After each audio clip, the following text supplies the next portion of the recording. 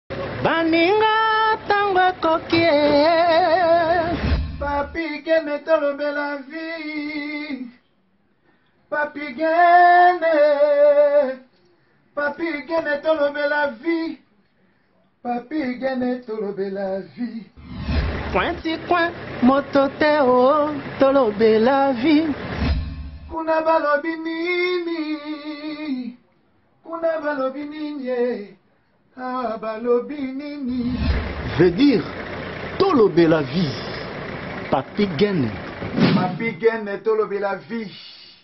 Papi Gene tolobela vie. sepela tv eye na makambo ya sika lisusu oyo oh, bachaine ya, ya france eza na kati bachaine ya congo eza na kati bachaine ya londres eza na kati olingi omona makambo ya politiki ya sika o oh, parti aa eza na kati o oh, parti bb o oh, cfaio eza na kati ya sepela tv buke ekomi kaka ya moke boye otye na poche voyage na yango okende parti olingi na buke na yo ya sepela tv sepela tv mema biso ndenge ozomema biso wana kaka mashine madakadaka sepela tv bienvenue dans le monde sepela tv sepela tv et le décodeur qui vous permet de suivre les chaînes du Congo en direct de la diaspora.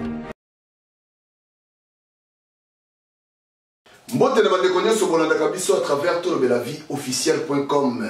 merci de votre fidélité merci na disponibilité surtout bolingo oyo bozalaka nango à travers bandeko na bino susi na biso ezalaka boye ntango toza komonana toza kosolola soki likambo eleki il faut biso eh, tobima mpo tomeka un peu kotya le point sur les i merci bongo na grande équipe atolobe la vie quatre fois prêtre l'honorable washington le grand pays na minique eh, okandi oyo aso ntango nkombo no sentir vibration quatre fois prêtre l'honorable eh, merci également na henrik shimanoka pdg authentique authentique Merci encore na Willy Lutala kaka. Willy Lutala kaka boyebi ke nga nazalaka mwana ngaba like makanaki. Eh, yo ozalaka motema mabe hein. Wa biloko ezwa mikolo yo kala te parce que balbum ezala azala kaka mikolo eza yo ozalaka motema mabe hein. Voilà. Merci na notre réalisateur Steve Malungwende lelo naza encore na Kinal l'artiste complet. Moto tobeta mwa masolo. Lelo na na Kinal parce que Bakufisi babungisi moko wa bango na kombo ya Pululu, que son ame repose en paix. Mais bato ebele mpe na bacommentaire mosusu baza koloba eh, bacomédien baza na vie ya mbangu, bacomédien baya na bavitesse moko misusu ya kosakana te misusu baya na baboule eh, misusu bakangama momina na bagwa En tout cas, il y avait pas mal de choses où eza ko, ko en fait, il y a pas mal de choses eza ko circuler sur euh, vie ya ba comédiens. Ya moi toye et pas ya moka ba comédiens qui lan maleko qui nan maleko déjà bonjour et mes condoléances déjà la famille non artistique euh, ya bino ba comédiens. Oui, bonjour euh, Papy Gel. Et vraiment euh, lelo Na opesi bonjour po opesi nga bonjour parce que tokutani mais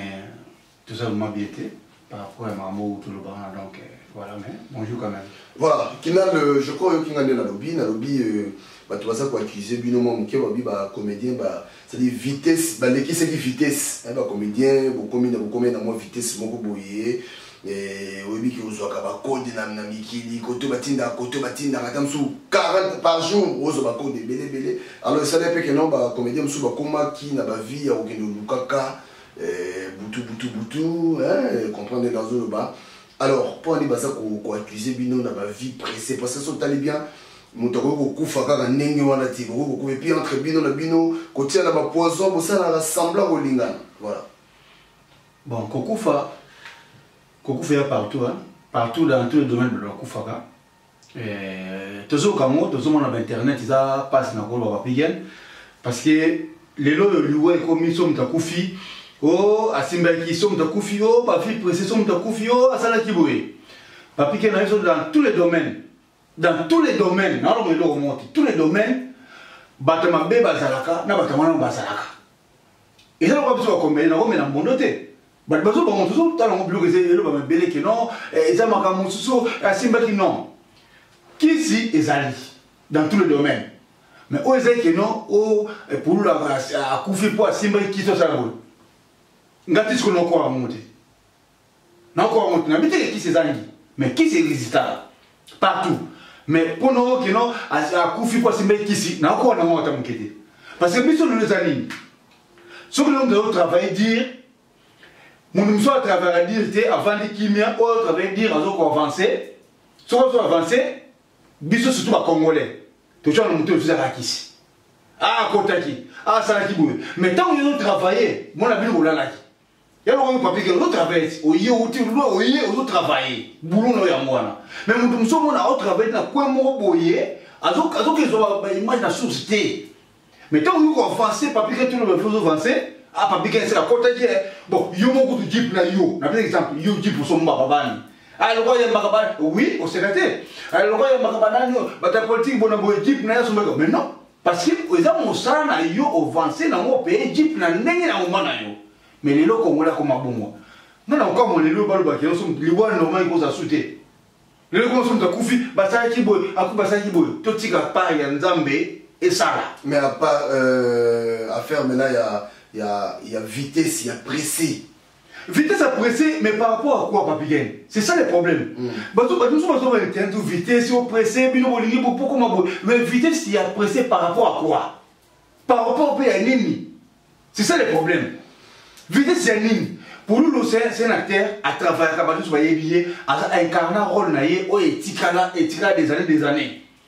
lelo aye toyoki toyoki sango nini akufi nga alandaki mwasi na ye abimi eke no balali balali na butu kani ezalaka ke no mwana aleli ntango mwana aleli mama alamuki mpo apesa neti mwana libele nde ezalaka kaka ozo kopana apa mwana loboko mpo oluma moko ekweyaki na mbetu boye azwa liboko yango azongisa neti boye mpo edepase lokwa mwa mbetu azongisa yango boye azomona obika azozongisi loboko mwana ofesala mwana mouvement esali mouvement te alingisa boye pa kokende bula akendaki yango wana atala bopa misubeli mwa nimba nini selon explication nini toyoki bon sikoyo yebisa nga baliwa eza na basorte na yango ebele hmm. tomona papa oyo bakufa na podium hmm. azoyemba akufi hmm. ye alali na sa pongi pa mwasi alingisa bopa ata bopa so akei bo tokoloba nini tokoloba nini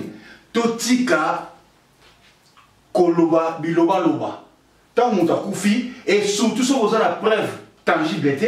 ça sert à rien ya koleka na bémission ça sert à rien ya kosala balive mpo na bamona yo to batala yo parce que yo mpe okoma batita lokuta non il faut tolukaka tozwaka nini na source mpo bato bazokoma ebele tina entre nous maintenant sikoyo eloko nini oyo yo moko so ozomona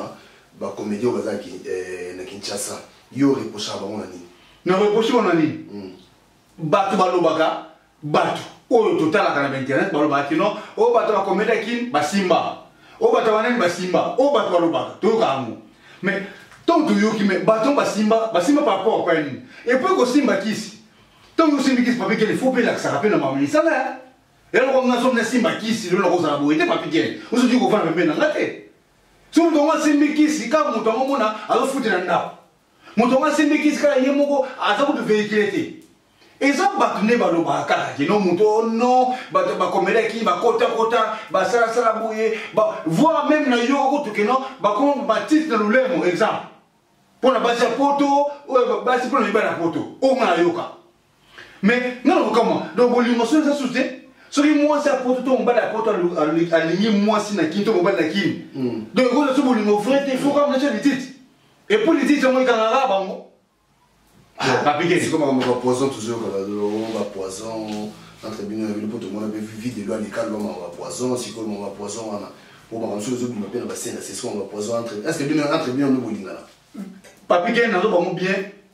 kolingana bato mosusu kolinga eza te kolingana vraimen ezalaka te ezalaka vraiment vraiment patro ah, wana eza eh, dans tous les domaines me mm. bamete omonaka wana bamete na mete surtout oyo ya traitaka maladi yimbi asala yango makasi mm. aza na bato bakoyina ye pourkoi soki ya ye ye babengi généraliste soki ayiba ah, mete wana maladi akolonga yango moninga mete mosu akolinga ye te dans tous les domaines kolingana so na bikeno tolinganaka totalement wana kosi parce que kolinga na biso mabe ebandaka wapi ya lokolo likambo lokola neti omoni pululu ana role na ye oyo ye abima nango so moto mosusu aye bayebake no hmm, wana ni pululu so moto mosusu ntango ozoya oloi olingi otravaille beaucoup plus dire mpo oya okoma mpena osala eloko olingi moto asala yo okoti mongo jalousie place poison ezokota yango wana parce que poison afo moto asala poison ebandaka na jalousie ah jalousie bali bo ah pulu atsa bo ah voilà ko ni kaka ye ah ko ni ba pote ba so benga ka ye o me ko me kina ni bo simbi ta pa o lu kyo sala bu so ba exit kaka nango parce que ezali ni mutu travail na ye nga lo bango bien boulot ya mutu pona nga nga kontala boso ki se ezali boso boulot na yo travail Parce que okosimba kisi sans travail osimba mpe te. Jamais moto ayebi kobeta bale te ake asimba kisi abale abanda obeta bale na terrain. Non, il faut oyeba ndambo ya bale. Après osimbi kisi e accompagne yo. Partout ezali. Tolingi te, nayebi ke tolingani te. Lelo nazomona bato, bato mingi baotya bakomi kotya baprofil na bango kululu. Bosa ba ironi. Tolingani te. Tant pour le qui vivant makambo malamu osa est-ce que mutu tiaka na profil? Na ba ndinga bete ba bikena, toi clair. Si si. Tout ça la clair. Tout tiaka mutu tant pour être vivant. Neti ngana fani pula ah papi kene mna se pesa yela, tipe papi ah papi kene trouble la vie, na poster quand même. Mais les gens mona kene ozo mona bien que mutu osala musala bien, mais ozo mukolo ya kufa. Mm. Neti kama na vérité. Mm. Yango zoba chaque fois et moi nous vivons. Jamais ça ne coûte. emoni vivant yango oyo bao baartiste basali ya bacomédien eza lokuta eza ya koponana emoni vivant oyo emoni vivant eza ya koponana parce que eza kena bango bacteur bauta place tele soki likambo ekoye basali kuna o bauta place te basali kuna mais sikoyo ntango bolobi kena bino tu boza baartiste mais bokoza na partage te totikaka lokuta koposte napekisi bino te bato bazoposte babiloko bavideo ya kululu bafoto baprofil oui c'est bien azali moto aekanaki role de temps des années oyo ezali kino motu bato baseplaki na ye c'est bien napekisi bino te mais oyo tokosala ntango kaka moto akufi nde place epesanga mpasi yango wana tosalaka eloko te kaka so moto akufi epulu eh, azalaki boye epululu eh, mais non c'est pas ça tolinganaka ntango toza vivant amonaka kolinga yango tala soki osikisi akomi nango est ce que sikisi oyo akomi nango ntango akufi oyo ntango azali bomoi est ce bolingaki ye bongo est ce que bopostaki ye bongo non mais lelo motu tu azoposte pululu siko conseil nini okoki kopesa na bino bacomédien nazopesa na conseil babikino babikino il faut bamakambo ntango na place ya liwa il faut ensegnaka biso siko biso tosalaka ndenge nini biso bacomédien e ensegnaka biso kaka ntango liwa ekomi pembeni moto akufi funa eza bofu tosala abo tobenge na réunion ya lokuta lokuta ona eza bofu tosalaka boye tala mais ntango kaka bakopanza bakundi pululu exemple te bakundi pululu ekomi na bino bino oyo tokopanza mazala mwa boki kosi wana makambo motutu akosala na biso yango esalama na mondweli ah nana batima biso na paris awa ntango mondo ya kufi bakoma biso ah, eh, eh, reflexe ezongi ah fotosala boye ntango elekaki elekaki te tozongela mimi baproblème nango mindondo aote kokufa awa yavait des problèmes aussi ah tosala boye mais ntango ntango mondo ya kufi koti bango esamaki rien lelo soki ekomi puluse donc biso tozala na biso kaka bongo ono oh, neti bamosusu basiloko bato balobaka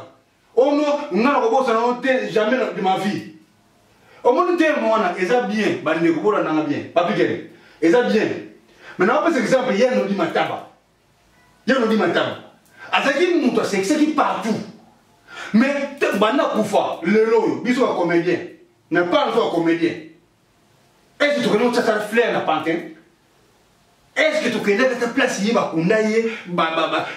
bakunda nodi mataba tolongola te toyeba te kino fleur ezalaka tiko tobosana mais totobaka tokobosana te botika bon totya na ngambo totikaka terme kino tokobosana jamais tobosanaka na biso bapikeni tobosanaka evre oyo moto asalaki oke bamindele se le contraire mondele soki alobi ndenge alobi bongo ekosalama bongo eyeba date na ye etake artiste mokolo akufaka bokende baseremoni esalami wana nde bozobosana motu te mais biso lelo balani bata bakufa eske nani yango osi akende si na cimetière pante kaka baleka yango bakenda baleka yango mpona koleta ba pante kaka kuna mao na pante yango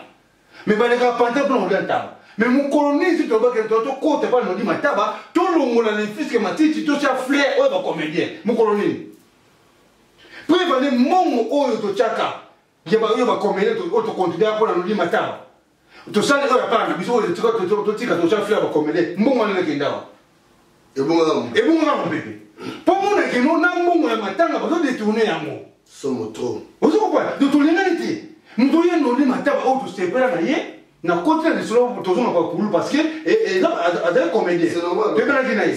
yo nazotalisa bato kino tolingani te ye nonde mataba olinsobayerongi tokobosana te makambo asalana mpo bato moto to alobaka bongo mais nani oyo alekaka na pante ata tokende ya ntaba na mpanzi kuna abina kota te mwa moke naboka misu mpa ya nodi esi ekoma ndenge nini delema tokota na pante wana na janifa ya franco na bango tozwi basu mpe bakundaka nodi te parce que ekomi basala mpena nini bien vrima te ekomi e ekotikoti mivulungani or so biso tozalaki teke bacomédien bakune na poto bakune na afrike te oyo biso tozalaki awa tosali fort toluki jour toke tobongisi ye nodi mpe azali C'est ça l'amour oyo tobakita kokosa na yo te. Voilà. Voilà. Ah. Donc tolinganaka vivant ya solo hein. nde tona bongo tolinganaka nde ya solo hein. wana ezali tolinganaka ya solo papikene tolinganaka ya solo esalanga mpasi nalobaka likambo mille fois omoni nga na asi bomoko na réunion oyo bakomena longo pourquoi olongwa na longwa oyebi na longwa pourquoi parce que tozolingana ya lokuta hmm. bosali réunion asi bango ezali association oyo osalisa tous les artistes comele à l'étranger hmm. lanana bien hmm. mais tokomi tosangani mokomona tozosala bacausation mais ntango likambo bazopona bato Ebi musu wa bike no neti nga neti biso tozala nzondini te ozo kopona mais parce que oui nasala nzondini te parce que nabimaki liboso na bino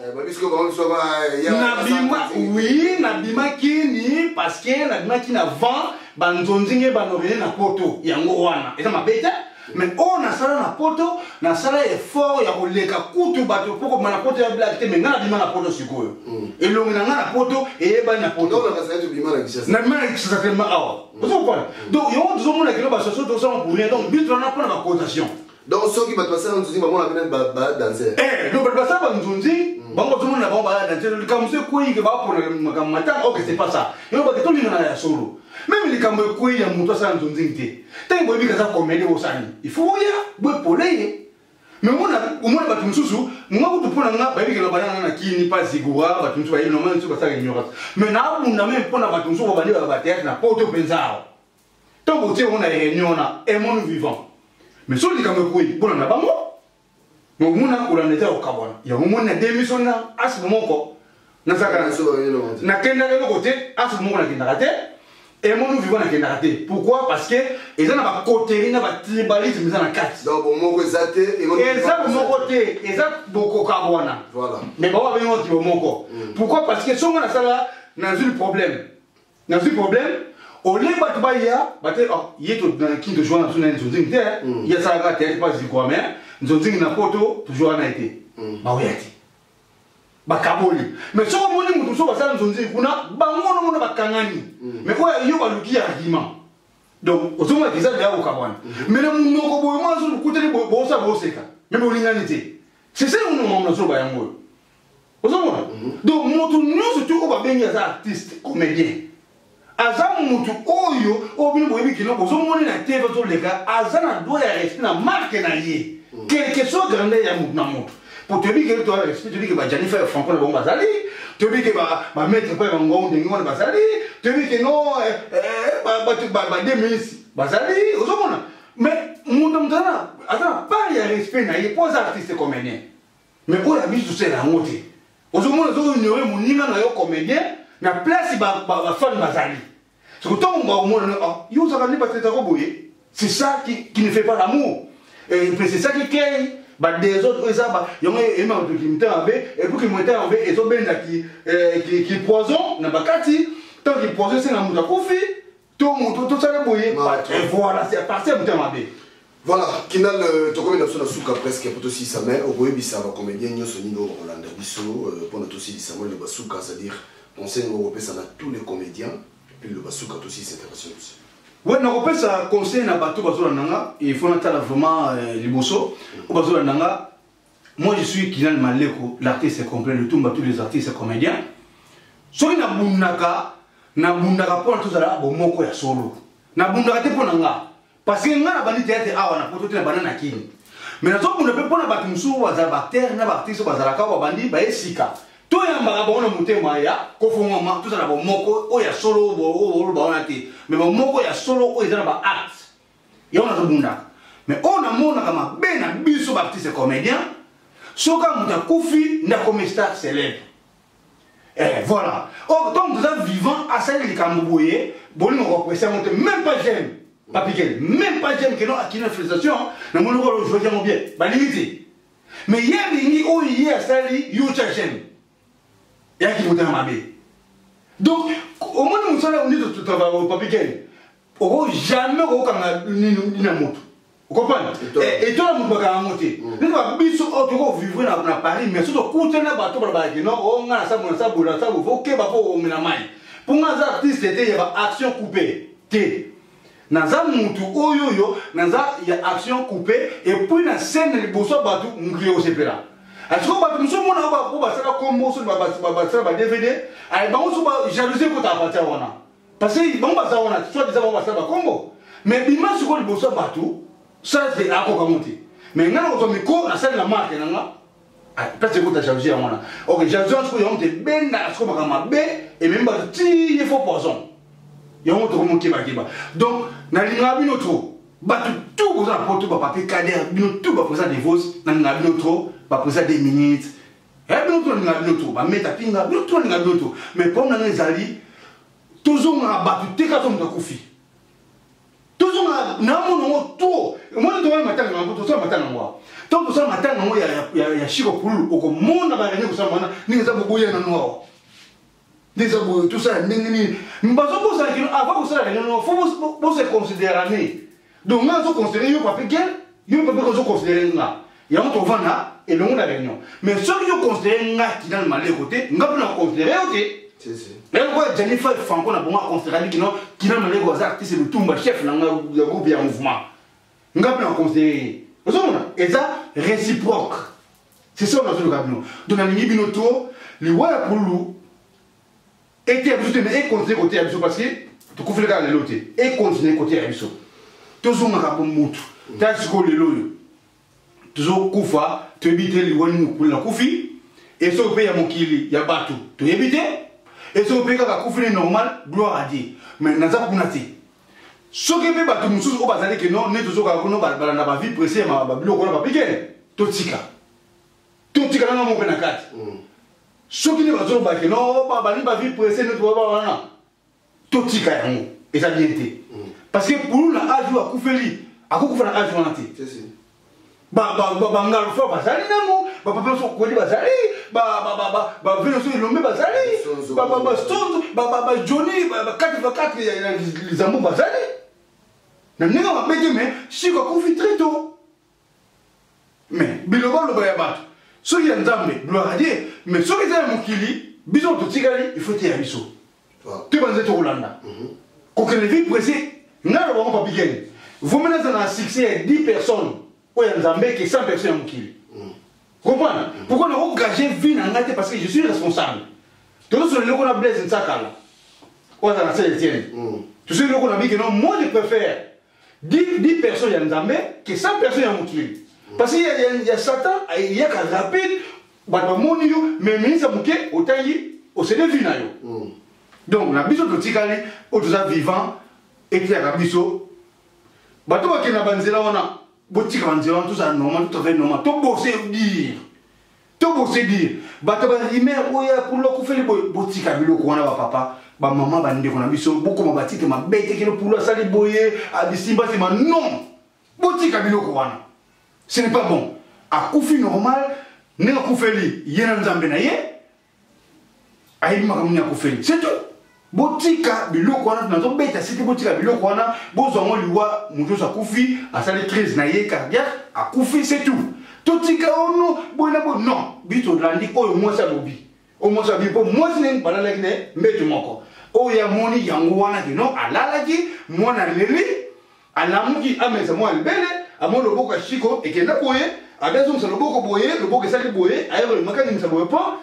akufi asalima bongo shiko amsubeli donc akokufa kofaki yango wana obis oyoki yango wana nga nasuki wana mpona nanga moto ya misu katre te voilà kinal pesa mwa de personne bamote vite fait naza na vraiment bato ya kopesa mbote te to bato matanga mais na bino bato oyo bolingaka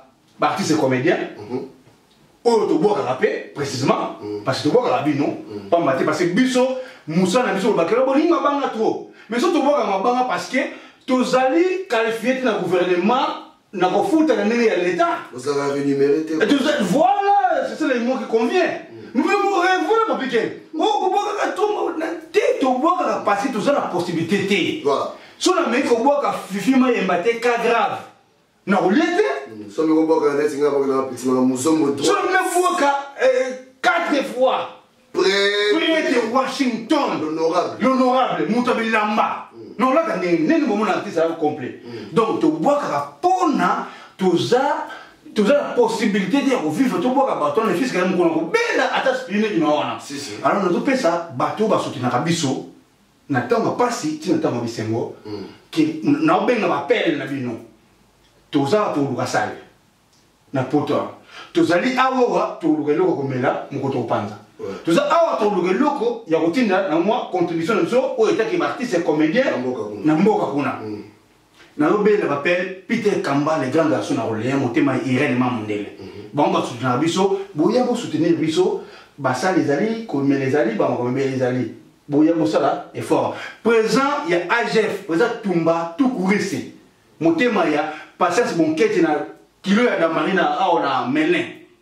bwana bwana mosusu na biso boya makambo tokweli tokufeli donc tokufeli ndeko na biso na côté artistique proprement dit chiko pululu oyo asekisa bino oyo boseka oyo babeta na moscovitch ozomona tindindi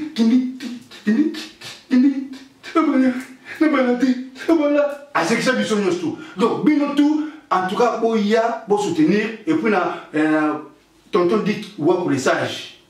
Tonton Diki wapi le sage motema ya maman Olga na kati ya Vincent awa le sage boya bo soutenir biso président Gianni Faye toza na matanga et puis à présent 2 minutes bactère tout tout alors moko po mukolo oyo matanga ekobima na programme na mutu za na fiske ini mokolo yango meme si on a des problèmes parci par là totya yango mopanzi tokutana mpo na liwa ya ndeko na biso pululu oyo asala monde entier oyo bandima ye mhm. eh, tokutana tosepela eh, tosepela te pardon tozala na elongo tokabola mawa na famille na ye biologique naye peut-être baza mpe na paris awa je pense na france bakozanga te epuis na famille na yango ma artistique tozala wana mm. ekosala biso vraiment bien so tokutani bamona mm. bamona ata na fisi bopesaki pululu na boye te mais ata ya suka papikeni ata ya suka basanti kino tozwaki sale moko boye ta place balelaki pululu yango oyo mm. baprésident richard lukau chef d'entreprise bapdg ikoza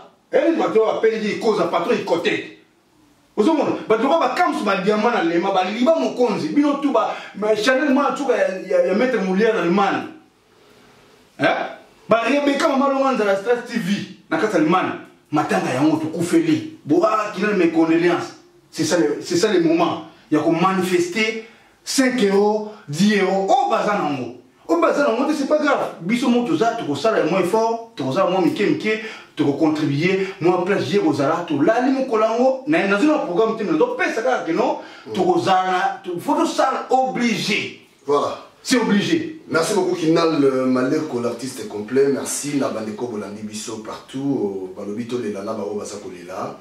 mais conseil ezanga te parce que tokoki kolela mais tokoki continuer kopeka kolela te parce que liwa la mort c'est naturel mais na ba age moko boye moto akoki kokufa apeka na ndenge wana te mpo so otali bie pululu c'est notre jeune frère aza mpena petit mais kokufa kaka ndenge wana bon Voilà, donc yango omoni mwa conseil mpe ezalaka mwa bien mingi mingi mpe mbangu mbangu mpema il faut mwa andose ezala euh, botika malamu reste connecté na tolobela vie officiel point com euh, ngai boyebi nabandaka na bango nasukaka na bango l'honorable 4 fois prêtre Eh, quatre fois prêtre l'honorable Washington le grand pays na Munich eh, sans ye mawa trop Willy Lutala kaka Lutala kaka Willy Shimanoka Eric PDG authentique wana wana ba bato yango moi nakendaka nanga molai molai molai molai te boyebi ke nazalaka mwana ngaba eh, like makanaki azalaka wana e tokomi na suka